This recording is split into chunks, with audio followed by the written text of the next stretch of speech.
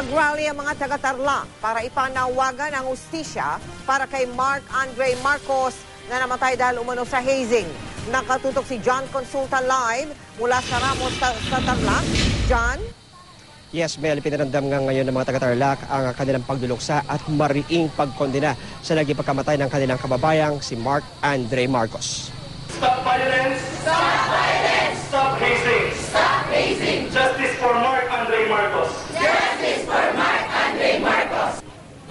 Mariing kinundena ng mga estudyante ng Tarlac State University ang marahas na pagkamatay ng kababayan nilang si Mark Andre Marcos. Hustisya ang sigaw nila. Ito ay hindi ayon sa batas. So sa, ah, sa aming universidad talaga kaming gusto naming ipahayag talaga na anti-hazing talaga kami dito. Di rin nagpahuli ang iba't ibang tricycle organization sa probinsya. Nagkabit sila ng mga poster at sama-samang tumulok sa Kapitolyo at nagsagawa ng busina para kay Andre. Pati mga dumadaang pribadong sasakyan nakisama sa busina para sa hustisya kay Andre. Sir, ba bakit ka nga ba sumali dito sa ginawa nyo ngayong uh, umaga? Ah, gusto po kasing makiramay dahil kababayan po namin siya, eh, taga Tarlac. Alisin na po yung hazing na yan para yung mga kawawang mga estudyante. la- Nag-alay naman ng isang minutong katahimikan ang mga miyembro ng Sangguniang Panalawigan para mag-alay ng panalangin para kay Mark Andre. Sabay-sabay din naglagay ng itim na ribbon ang mga Tarlakenyo sa Kapitolyo. Stop hazing! Stop violence! Stop hazing! Stop violence! Justice for Andre Marcos! Ang empleyado ng ilang opisina sa Tarlac nagsuot din ng itim na ribbon bilang pakikiluksa sa anilay naging kawalan ng probinsya.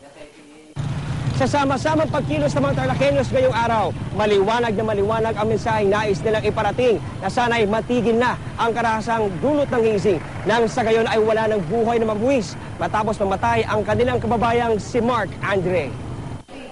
Labis naman ang pasasalamat ng ama ni Andre sa ipinakitang suporta ng kanilang mga kababayan.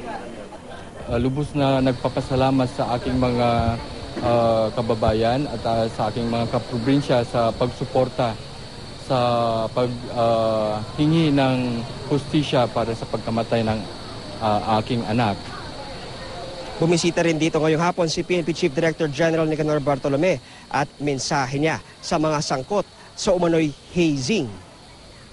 Kami po ay hindi natitinag ano, kung meron mang mga maneuvers na ginagawa ang ilan. Ah, mas makabubuti kung kayo ay ah, makipagkita na sa amin, no? Magbigay ng inyong pahayag sapagkat ah, darating din naman ang panahon na matutuntun namin kung sino kayo. Anumang oras ngayon mula Mel ay uh, inaasahang darating ang isa sa mga tiyahin ni Mark Andre mula nga sa Basang Qatar at uh, sa mga oras din ito ay pinaghahandaan na rin ng pamilya ang magiging libing ni Mark Andre sa darating na linggo. Yan muna ang latest mula pa rin dito sa Tarlac. Balik sa iyo Mel. Maraming salamat sa iyo, John Consulta.